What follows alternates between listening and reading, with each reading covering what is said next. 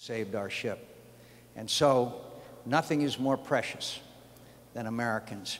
And I know that it has caused great heartache and pain because I've visited with families and I know them.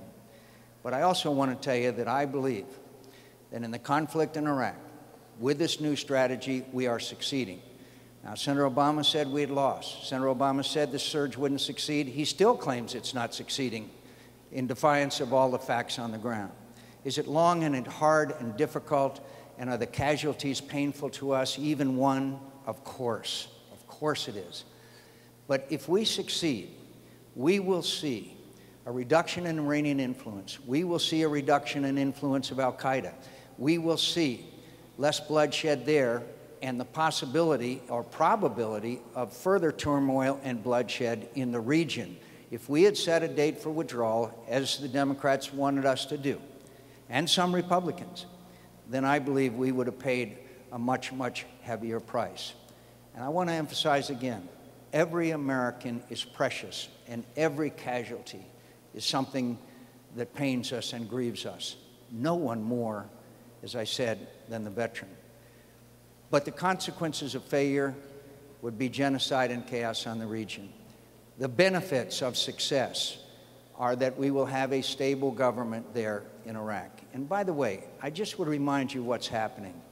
Now the Iraqi government and military are controlling Mosul, Basra, and Baghdad, the three largest cities in Iraq.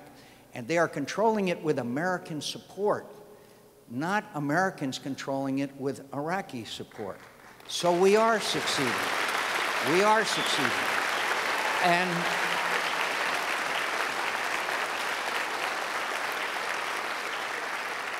And we are reducing those casualties, and they are going down.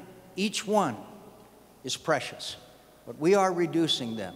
And thank God, they're the bravest, the best equipped, the most talented, and most professional military in the history of this nation. And America is divided of this war.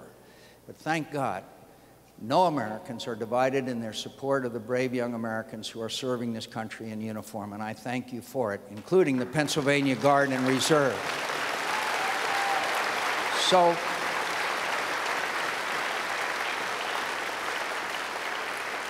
so in order, in order to prevent a wider war and a bigger conflict and greater danger to American se security and possibly greater American sacrifice, we have and are employing this strategy which is succeeding in Iraq at great cost.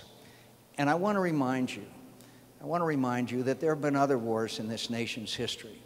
And sometimes we have had to see it through. We have had, because their leaders knew the consequences of failure.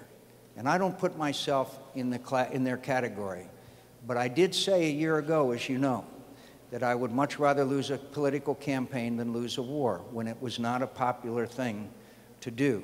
And I still believe that today. And I appreciate more than most, I believe, the service and sacrifice that's been made by brave young Americans. And all that, and all that,